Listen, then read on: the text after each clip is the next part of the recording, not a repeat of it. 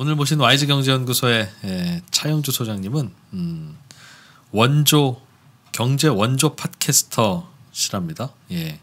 원래 팟캐스트가 나온 지는 꽤 됐습니다만 우리나라에 본격적으로 소개될 때가 음, 이른바 저 낙검수라고 해서 음. 어, 저기 요즘 TBS에서 라디오 시장 혼자 다 가져가고 계시는 저 김어준님이 그때 친구분들하고 했던 건데 그 당시에 경제 분야의 팟캐스트를 진행하시던 분이라고 어, 마치 기본 수학의 정석 저자 뭐 이런 느낌이네요. 네, YG 경제연구소의 차영주 소장님 나오셨습니다. 어서 오십시오. 예 안녕하세요 최영주입니다. 네. 예. 어, 오늘은 음, 오늘은 어떤 좀 뉴스들 괜찮았어요. 어, 코스피 시장과 코스닥 시장은 코스피는 0.08% 올랐고 코스닥은 0.17% 하락했네요. 예 그렇습니다. 그 시장이 전반적으로 봤을 때는 강세 기조가 좀 이어진다. 네. 저는 그렇게 말씀드릴 수 있겠는데 어제 오늘 잠깐 쉬어가는 그런 텀이 아니겠는가 음. 아, 그렇게 보여지고 있습니다. 아쉽게도 오늘 코스피 같은 경우 2,200선 자- 다소 이제 실패한 그런 모습들을 보이면서 2,196선에 마감을 했고요. 네. 코스닥도 650선 탈환에 좀 실패하면서 647.85에 마감하기는 했습니다. 음. 하지만 지금 시장 같은 경우는 삼성전자가 네. 가장 강하죠. 어, 이런 것들에 힘에 힘- 힘입어서 어, 계속해서 상승 아, 흐름을 그래서 나타내고 있다. 올랐네요. 예, 그렇게 나타날 수 있고 오늘 또 한 가지 이제 시장에 긍정적인 소식이 들린 것은 어, 정부에서 발표한 경제 성장률 내년도 경제 성장률이 2.5%로 정부가 이제 발표를 했습니다. 네. 어, 지금 기존에 이제 비웠던 2.2%보다 0.3% 포인트 올려서 했다라는 것들. 어쨌든 내년에는 올해보다는 경기가 좀 좋아질 것이다. 뭐 이런 정도의 코멘트이기 때문에 어, 조금 긍정적인 그런 상황이 아니겠는가 그렇게 정리를 해드릴 수 있을 것 같습니다. 그게 시장에서도 긍정적으로 받아들여졌어요. 시장의 시황에 영향을 주는 최근에 만큼? 저는 음. 시장이 삼성전자를 필두로 해서 강하게 움직이는 요소 중에 하나가 바로 그런 것이 아니겠는가. 우리나라가 경제 성장률을 자체적으로 올렸다라기보다는 음. IMF도 우리나라 내년도 경제 성장률을 2%에서 2.2%로 상향 조정했고요. 그게 우리나라 내수 경기 좋아질 거요가 아니라 그렇죠. 수출이 좋아질 수출이 테고 좋아지고 반도체가 좋아질 그 것이다. 중심에는 반도체가 예. 있습니다. 그렇습니다. 그렇기 음. 때문에 삼성전자가 갖고 있는 두 가지 역할이 있습니다. 우리나라는 잘 아시겠습니다만 본질적인 가치가 있고요. 그 다음에 우리나라 지수를 이끄는 가치가 있죠. 음. 어, 시총에서 차지하는 비중이 30%가 넘기 때문에 예. 이두 가지 역할을 지금 톡톡히 삼성전자가 해내고 있다. 음. 어, 결국 이런 경제 성장률 같은 경우 피부에 와닿는 것은 아니겠습니다만 물론 어, 이런 것들이 현재 지금 국내 지수가 많은 분들이 조금 그런 생각들을 하시고 계신 것 같아요. 너무 급하게 오르지 않았는가? 음. 어, 그렇긴 하지만 그러한 기조 속에는 현재 냉정하게 실적이 바탕이 될 것이다라고 본다라면 지금 이런 상황은 아직까지는 상승 기조에 있는 상황이다. 저는 그렇게 정리를 해둘 수 있을 것 같습니다. 요즘 반도체 가격은 올라서가 아니라 이제 바닥치고 오를 것 같은 기대감 때문에 많이 오르는 거죠. 이 반도체 그렇습니다. 지금 주가는. 상황에서는 내년도에 이제 4차 산업 시대가 본격적으로 열리게 되면 음. 반도체라든지 또 오늘 올랐던 통신주도 네. 어, 또 그러한 역할들을 했다라고 보여지거든요. 결국 5G 같은 경우 4G보다 20배 빨라지니까 음. 어, 그런 부분들을 하고 어, 사물의 연결이란 부분들을 감안하게 된다라면 반도체하고 통신주에 대해서는 음. 내년도 전망치들이 대폭 상향 조정되고 있다. 네. 어, 이렇게 말씀드릴 수 있겠습니다. 내년에 5G 시대가 진짜 오기는 오는 거 맞겠죠? 어 그렇죠. 지금 5G가 어. 뭐 무인 자동차라든지 음. 뭐 저희가 지금 실시간으로 이렇게 팟캐스트 보고 계십니다만 네. 일부 간섭 현상이라는 게 생기고 있는 건 사실 뭐 아니겠습니까? 약간 뭐 있는 거죠. 뭐 피부로 예. 느끼기는 못하지만 음. 그렇지만 자율주행차가 간섭 현상이 생긴다. 네. 그건 사고로 이어질 수가 있는 거죠.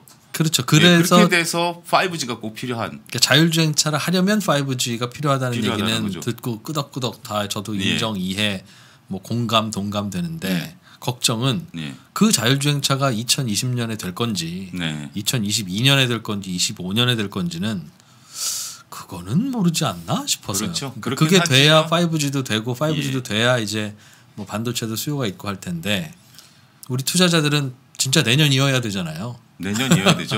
어, 근데 일부 본다라면 음. 그 결국은 캐즘이라는 걸 극복해야 되지 않겠습니까? 네. 이거 말씀하셨다시피 우리가 굳이 5G까지 써야 될 필요가 있겠느냐라는 부분들 음. 얼리 어답터들은 벌써 쓰고 있는 상황 아니겠습니까?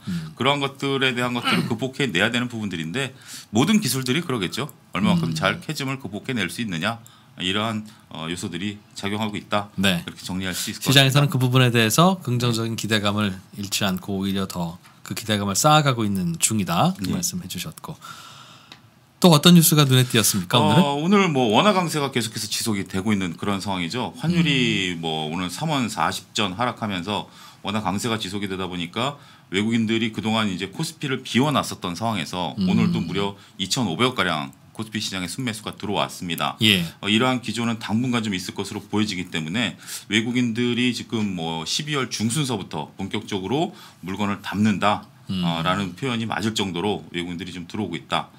어, 오늘 또 의회는 트럼프 대통령이 결국 하원에서 탄핵이 됐어요. 음. 어, 탄핵이 된 것이 이제 장중에 거의 오전장에 이제 전파가 됐는데 뭐 이미 알려져 있는 상황이긴 하고 네. 또 상원에서 거부가 될 것이다라는 그러한 상황들도 되기 때문에 어, 일단 이러한 것들은 시장에 있어서는 좀 미미했었다. 예상은 됐던 예, 바죠. 그런 예. 것들로 어, 외부 변수를 좀 정리해 드릴 수 있을 것 같습니다. 음.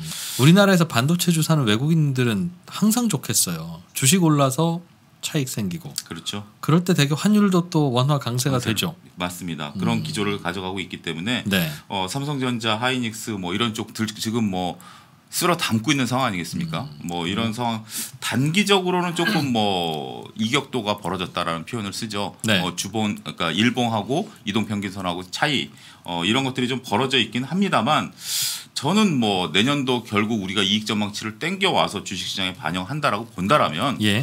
지금 시장에 있어서 어, 조정은 나올 수는 있습니다만 꺾이는 흐름은 나오지는 않을 가능성이 높다. 음. 단기 강세 현상은 이어지지 않겠는가 긍정적으로 보고 싶습니다.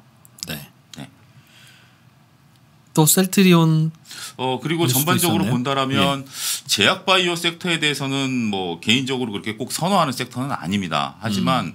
셀트리온이 제네릭에 대한 그 기술 특허를 어제 취득을 했거든요. 11건을. 그러니까 셀트리온이 그동안의 유방암 치료제라든지 관절염 치료제의 바이오에서 제약으로 양날개를 이제 만들어 냈다라는 거죠.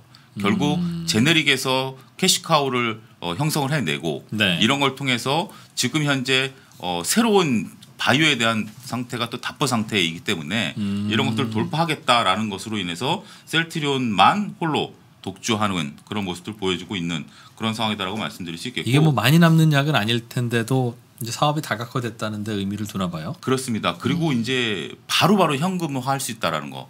시간이 오래 걸리지 않고 음. 이미 특허가 개발된 것을 써왔기 때문에 바로 이제 할 수 있다라는 것들입니다. 바이오 기다리는 거 징글징글하다 이제 투자자들은 그렇게 생각하시나 봅니다.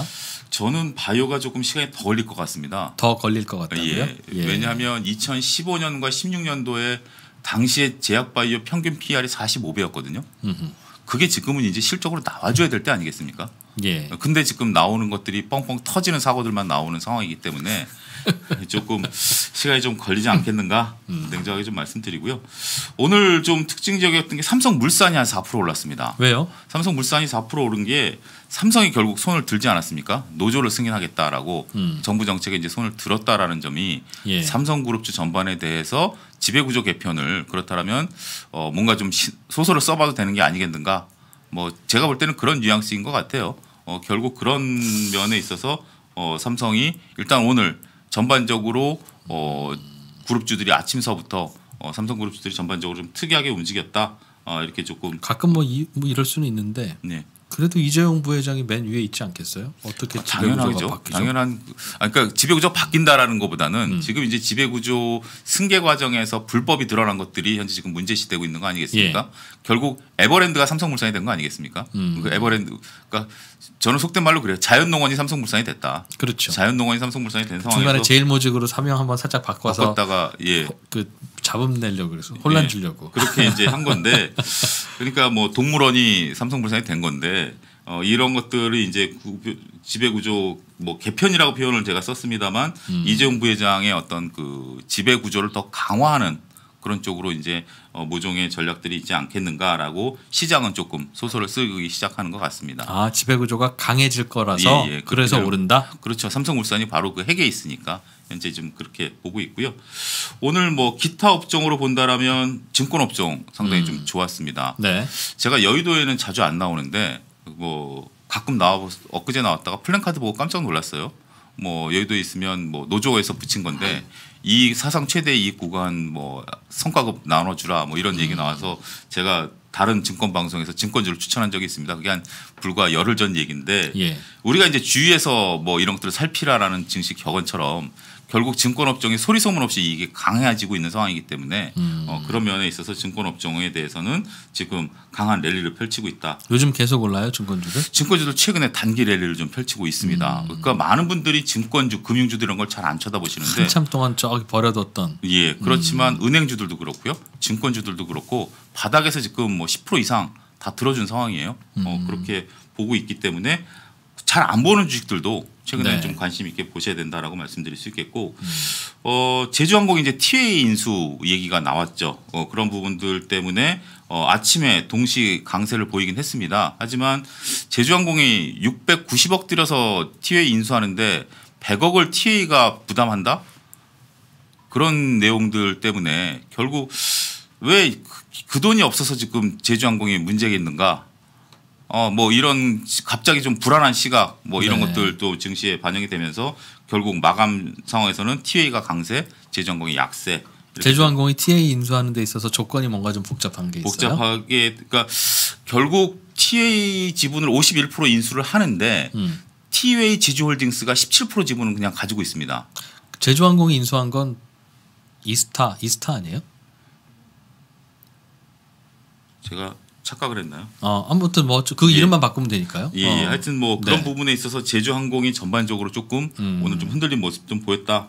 과정에서 예, 음. 그런 부분들 말씀드리고 마지막으로 이제 오늘 통신주들 예. 조금 나름대로 선방한 하루였다. 음. 1%대 좀 더 상승했는데 어, 통신주들은 좀 그래요. 우리 장비주들은 이미 먼저 올랐죠. 예. 통신 장비주들은 미리 올랐는데 이게 잘 아시다시피 5G가 지금 통합 품질 문제도 있고 여러 가지 부분들도 있는 상황에서 어, 결국 장비를 먼저 깔아야 음. 어, 통신이 되고 3분기부터 재무제표에 이제 감가상각 비용이 반영이 되거든요. 어, 그런 부분들 반영해서 음. 내년도에는 통신주들이 조금 나아지지 않겠는가? 뭐 이런 전망들 좀 땡겨온 것 같습니다. 네. 보니까 골고루 그동안 소외받았던 것도 많이 오르고 네. 그랬네요.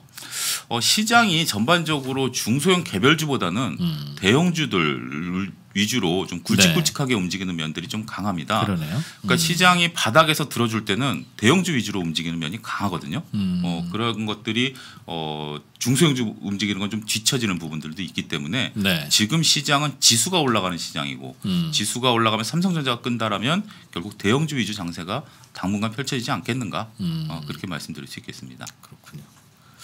차영주 소장님은 저희 채팅창에서 이- 임백천 씨 형님 같다고. 그런 얘기 좀 많이 들었습니다. 근데 제가 지금 살이 많이 쪄가지고요. 아, 어. 그 임백천 얘기 들은 지 벌써 꽤 오래 오래전 오래간만에 듣는 것 같아요. 아, 오래오래 들으셨나 봐요. 예, 어. 지금 그런 얘기를 좀 많이 들었습니다. 처음엔 그게 좀 굉장히 좀 부담됐었는데 음. 어디 강의 나가고 그럴 때는 좀 네. 기억하시기 아. 좋으니까 오히려 좋더라고요. 예. 그렇군요. 오늘 재밌게 잘 들었습니다. 예. 음. 이런저런 흐름들이 이게 그럼 뭐 뭔가 바닥에서 이제 올라가는 때 나타나는 흐름이에요. 어, 전형적으로 그렇게 보고 싶습니다. 이제 뭐 산타 랠리라든지 1월 효과라든지 이런 것들을 좀 기대해 보지 않- 보도 되지 않을까? 네. 저는 좀 긍정적으로 보고 싶습니다. 시장. 음. 예. 전반적으로 내년의 일은 그러니까 올해는 많이 힘들었는데 네. 내년에는 이것도 좋아지고 저것도 다 좋아지겠지라는 생각들을 많이 갖나 봐요. 그렇습니다. 지금 이제 그런 것들이 반영되는 시기이고 중국 미국도 어. 이제 고만 싸울 것 같기도 하고 뭐 이제 더 본격적으로 싸우겠죠. 이제 2차 협상이 남았으니까. 근데 어쨌든 1차를 어떻게 뭐 마무리 지을 것으로 보여지고 있고 음. 그렇게 돼서 뭐 앞서도 서- 서두에도 언급드렸다시피 경제 성장률 자체가 올라간다라면 예. 어, 모든 것들이 좀 나아지지 않겠는가 음. 어, 그렇게 보고 싶습니다. YG 경제연구소의 차영주 소장이었습니다. 고맙습니다. 감사합니다.